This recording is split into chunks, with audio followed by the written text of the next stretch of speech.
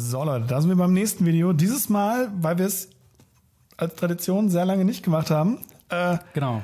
machen der gute Robin und ich ein paar Booster auf und äh, ich hoffe, du hast Bock. Ja, mega, auf jeden Fall. Und wir haben jetzt vor, äh, das ein bisschen jetzt auch natürlich hier Weihnachtszeit mit dem Baum, Ja. wunderschön. Und dementsprechend machen wir ein paar Booster auf. Äh, wir haben heute Forgotten Realms Draft Booster. Ich gebe dir mal ein paar rüber. Genau, danke. Und du hast noch was mitgebracht. Ich habe noch eine Kleinigkeit mitgebracht, ein Mitbringsel aus äh, meinem Urlaub in Italien. Und zwar, ich hoffe, man kann es ein bisschen sehen. Äh, Dungeons and Dragons Aventure nei Forgotten Realms.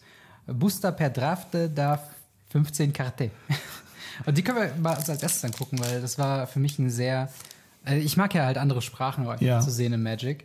Ähm, zum Beispiel natürlich haben wir hier äh, Sfondare La Porta, äh, Vedi una guardia avi Selig, Seligli Uno. genau. Und ja, es ist einfach sehr äh, witzig hier. Forza del Toro. Es könnte Ja. auch ein neues Auto sein. Ja, stimmt. Ähm. ich weiß, dass äh, Volare heißt fliegend. Ah, okay. Zombie-Oger, das bleibt einfach so. Zombie-Oger allem Zombie-Oger. Zombie-Oger und dann Oger-Zombie. Ja, nice, nice. Und ich weiß gar nicht. Da, Volare. ah ja, genau, Volare, fliegend. Ja, Äh, und natürlich der Oh, gar nicht mal so äh, Studio Elitat, Elitit. ja. Äh, Creatura Legardiara. also Legardia. ist auf jeden Fall sehr, sehr witzig. Ich Ja. mag solche Sachen immer aufbewahren, vor allem Ja. wenn ich da mal unterwegs Ja. bin. Passiert ja nicht so häufig. Äh, ich dachte mir, wenn wir schon Dungeons and Dragons aufmachen, dann auch ein bisschen das Was war zeigen. italienisch. Richtig. Okay, wir ähm, machen einfach mal, legen einfach mal los, ne? Ja, würde ich sagen. Gucken wir mal Booster an, wie immer. Wir machen die gleichzeitig auf, gucken so ein bisschen drüber, was so der andere hat, was man selber so hat. Und äh, ja, Vor allen Dingen, eigentlich ist es ja auch voll gut, dass wir das etwas verspätet quasi aufmachen. Denn äh, ich habe jetzt die Bücher ein bisschen mehr gelesen. Ah, Die okay. Saga vom Dunkelhelf. Bin jetzt Ja. bei Band 4. okay. Das heißt, ich kann mit ein paar mehr Karten ein bisschen was mehr anfangen. Ja. Sobald mir einer über den Weg läuft, sage ich Bescheid. Okay, Video ist vorbei. Äh, genau.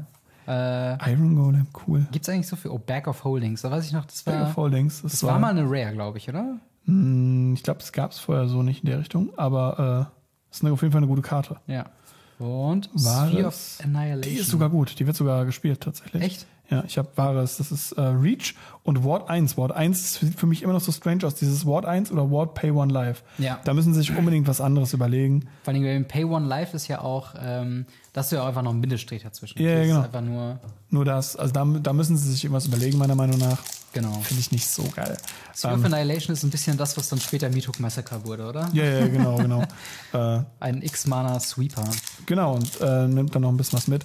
Aber gut, Massaker kostet halt Geld und ist Ja. gut. Und Ich habe äh, letztens gesehen, drei für 120 Dollar oder so. Habe ich in, einem Deck, in der Deckliste gesehen. Das war schon, das ist schon extrem viel. das ist echt viel. Ich muss auch sagen, ich sehe ein bisschen äh, Deadly Dispute, halt diese, äh, weil das Deck oder dieses Set hat ja so ein äh, rot-schwarzes äh, Treasure. Ja, ja, Treasure. Theme. Ja. Ich glaube, das könnte tatsächlich nochmal ein Deck werden. Weil Mana-Cheaten in nicht grünen Decks ist sehr. Äh, Was hältst du von diesen Aufmachen? Ähm, ja, es ist, halt, es ist halt so ein bisschen schwierig. Wir haben uns, glaube ich, schon im Podcast schon mal Ja. unterhalten. Ich mag dieses, diese einfarbigen Hintergründe nicht. Klar, Ja. es gibt die Color-Identität, aber bei weißen oder bei goldenen Karten sieht man das halt kaum. Ja, Und, ähm, keine Ahnung, es war so ein bisschen schwierig. Spiele ich im Legacy. Echt? Ist Ja. der Legacy Playable? Ja, ist ganz cool. Sucht äh, Ausrüstung und Verzauberung. Ah, Blue Dragon, der, der richtige Blue Dragon, ist das der, der, ähm, der nicht äh, gefälscht, äh, der nicht falsche, weil ist ja Englisch und nicht Deutsch. Ach so, hatte der nochmal einen Fehler mit Ja, drin? genau. Im Deutschen war der ja, der ja minus drei, minus zwei, minus eins bis zum Ende deines nächsten Zuges gegeben. Ah. Und hier gibt er ja nur bis zum nächsten Zug. Ja. Und wir haben Meteors. Wow. Oh, ich habe auch eine, eine X-Karte. Okay. Tatsächlich The Long Rest. Habe ich schon mal gezogen, macht, glaube ich, nichts. Und ich habe eine Rare. Uh. True Polymorph. Äh, okay. Tatsächlich Polymorph ist ähm, gerade in Band 4, wo äh, Dritz und seine Bande trifft zum ersten Mal auf die, äh, auf die Mindflayer. ja. Und äh, da äh, ist es ein ganz großer Punkt mit, ne, mit einem Charakter, der äh, gepolymorpht ist und der mit, dem, mit ja. seinen Persönlichkeiten kämpft. Deswegen, das ist tatsächlich sehr, sehr witzig. Also, Geil. Vor allem, man überlegt sich das natürlich nicht. Also auch bei World of Warcraft gibt es ja irgendwie so Polymorph in Schaf Ja, und so. genau. Ähm, aber nee, in, in dem Schafskopf ist dann einmal die Persönlichkeit oder die, ähm, die Eigenschaften von dem Schaf, aber natürlich die eigentliche Persönlichkeit Hat auch noch. drin. Hier, Also, weißer Card schon. Der genau. Aufschrei, der damals kam. ja, voll. Ach ja, Oder keins Polymorph. Mehr Polymorph. genau. Thieves Tool hat mir, glaube ich, im Draft sehr häufig äh, den Hintern gerettet tatsächlich. Eye of the Beholder, Alter. Es ist, das Artwork ist ziemlich nice. Ja, man muss echt sagen, also hier haben sie echt viel gemacht. Hammer Pascha, denke ich mir immer noch, boah, wenn, wenn doch das Dungeon Deck mal was gefunden hätte. Uh, ist es die teuerste Karte aus dem Set? Ich habe keine Ahnung, Dungeon das? Descent? Äh, ach nee, das ist gar nicht, sorry. Ich habe das mit äh, Treasure Bolt Ah. äh, auseinander getan. Uh, Der verfolgt mich. Der verfolgt mich so unendlich hart. Ich hatte ihn im, im, ich kann, im Dual Giant Pre-Release zweimal. Jetzt haben wir neulich äh, Chaos Sealed Deck ähm, Welcome Back Event gespielt. Okay. Da habe ich ihn auch gezogen. also der verfolgt mich. Hammer. verfolgt mich. Ich meine, es gibt schlechte, schlimmere Karten, die einen verfolgen können, aber Ja. Auch übrigens hier dieser, ähm, der Battlecry Goblin, der wurde auch mal in der Budget-Version von hier 8-Wack gespielt, weil der mit seiner Ah, Fähigkeit ja, quasi der- auch noch Haste geben Ja, ja, kann. genau. Und nochmal wacken kann. cool. Und Bull Strength. Ja. Aber wie war es? Forza de, del Toro. Mazzo del Toro, genau. Ja, Genau. Toro, Bull. Ja, Ja, Kommt, kommt hin auf jeden Fall. Aber ich finde, wir haben- nicht so schlechte Puls bisher. Nö, also nö. Illithid, ähm, der ist auf jeden Fall Ja, der ist playable. ziemlich gut, ja. Okay, Planet Secador, Compelled Duel. Steht cool. Planner Alley drauf, ist aber kein Alley. Ja, das stimmt. Und die Karte macht, glaube ich, jede ähm, Webseitenhersteller Ja. absolut wahnsinnig, weil diese Ja. Plus normalerweise halt nicht als Name, sondern halt Nein, als geaddete, Fact- als geaddete äh, Typ. Genau. Ranger Hawk, Sentry.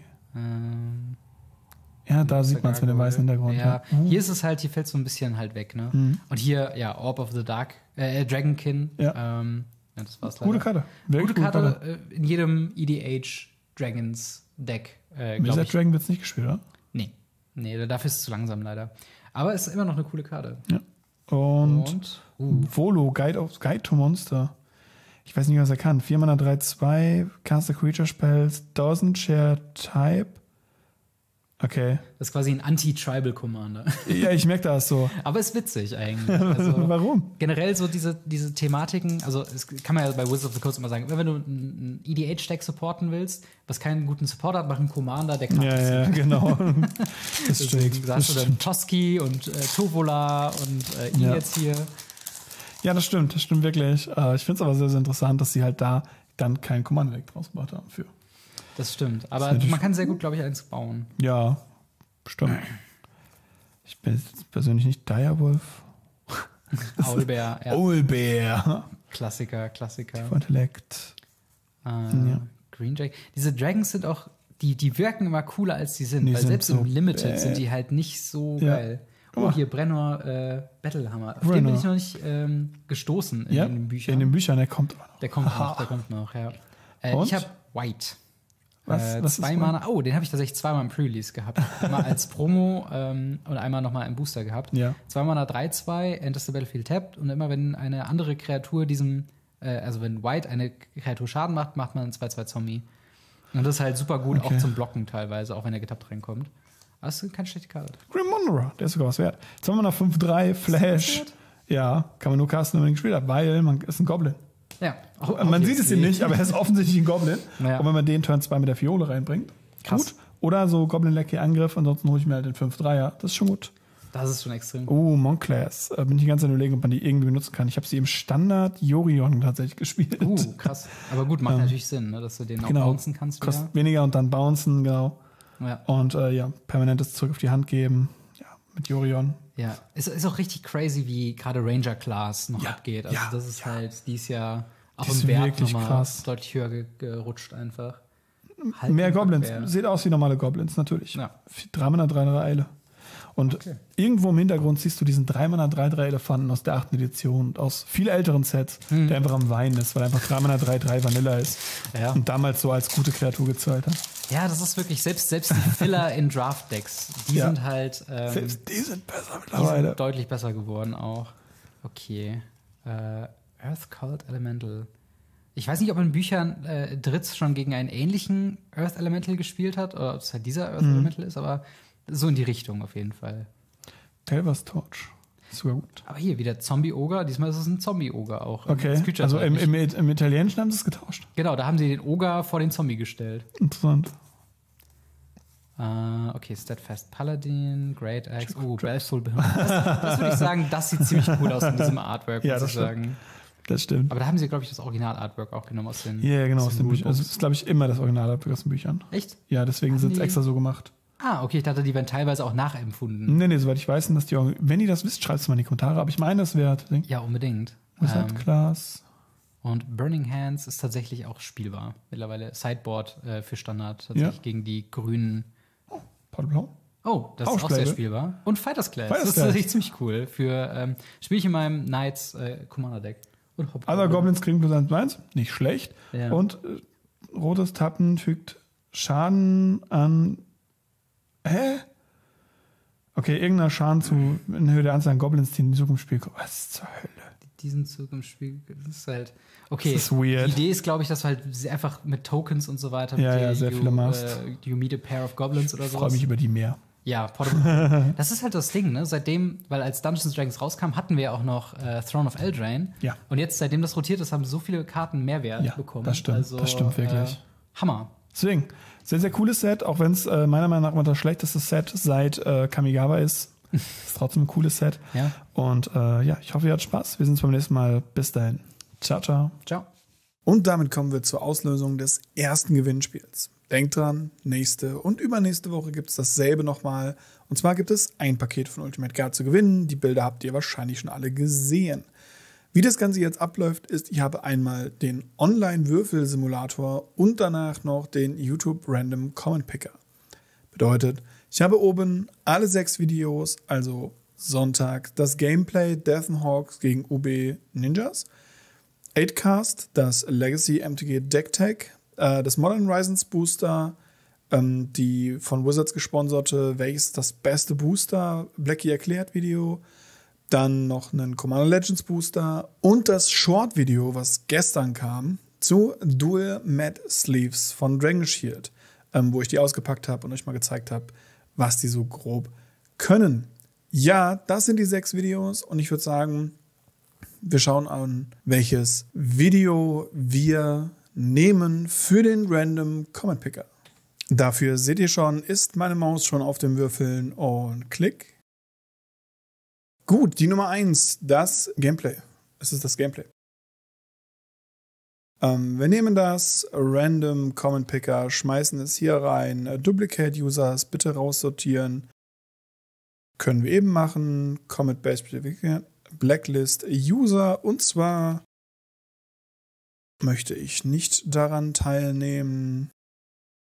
Und Get YouTube Comments. Es sind 20 Leute, die Unique mitgemacht haben. Und einen von diesen werde ich jetzt random ziehen. Klicken wir auf Start. Ja, äh, lol. Herzlichen Glückwunsch, Casual Alters. Du bekommst ein Paket von mir. Du kannst mich entweder anschreiben über Instagram, Facebook, ähm, E-Mail geht auch tatsächlich, wenn es sein muss, Twitter. Und ja, interessant. Äh, auch er, YouTuber, kann ich euch nur empfehlen. Er macht sehr, sehr coole alte Arts, ähm, zeigt, wie er die, die Sachen malt. Und ja, ich freue mich darüber. Und dann vergesst nicht, nächste Woche auch wieder mitzumachen. Wie ihr seht, jedes Video kann gewinnen. Jeder Comment unter jedem Video ist ein weiterer Entry, weil ihr hattet die Chance, wenn ihr alle sechs Videos kommentiert habt, eben auf jeden Fall im Gewinnpool dabei zu sein. Und dann wurde ein random Comment gepickt. Und ja, dann haben wir noch zwei Packages. Mal sehen, wer die gewinnt. Ich hoffe, ihr habt Spaß. Wir sehen uns beim nächsten Mal. Bis dahin. Ciao, ciao.